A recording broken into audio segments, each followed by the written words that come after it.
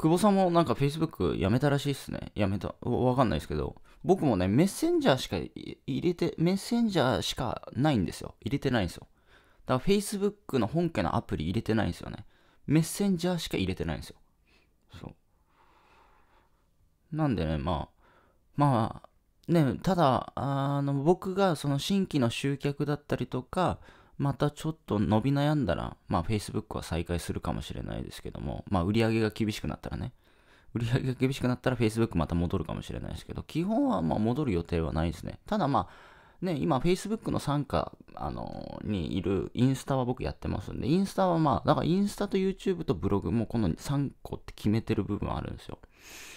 だからあんまり手を伸ばしすぎると、もうできなくなる部分もあるんですね。あれもこれもになると。で、僕あの、スタンド FM っていう、まあ、熟成さんスタンド FM っていうのは音声のメディアやってる人結構いるんですよ。で、スタイフいいなっていう、ラジオいいなっていう。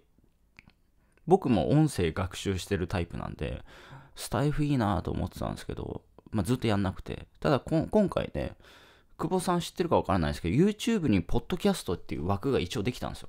ただ違い何なのって話なんですけど、一応でもポッドキャストの枠ができて、お、一応 YouTube でもこのラジオみたいな、なんかそういう概念が入ってきたんだなっていうところで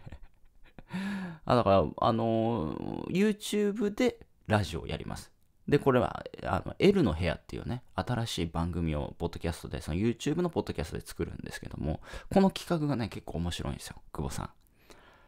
ね、久保さんもなんかメルマガ復活したみたいに言ってたんですけど、僕はまずっとメルマガやってますけども、あのメルマガ読者に金配るっていうね。だから稼げる、本当に稼げるメルマガっていう。だって僕がお金払うんで、稼げるじゃないですか。これはね、まだ発表してないですけども、もうページも作ったんですよ。これ思い、これ結構いいアイディアだなと思うんですけど、はい。ちょっとね、楽しみですね。まあ来週、まあ、またキャンペーン商品売り終わってからまたやるので、それは。まあ、今後はそのお金もらえるメルマガみたいな感じにしますね。そうばで、ギャラ払いますよみたいな話なんですよ。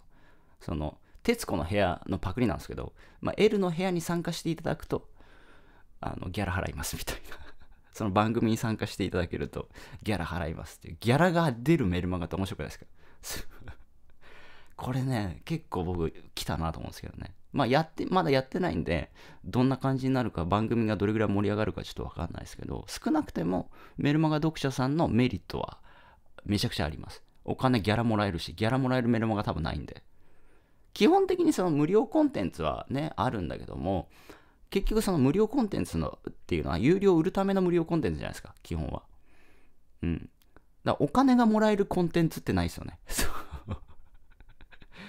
はね、画期的ではないかなっていう、僕のいろいろな経験値を全部プラスミックスしてね、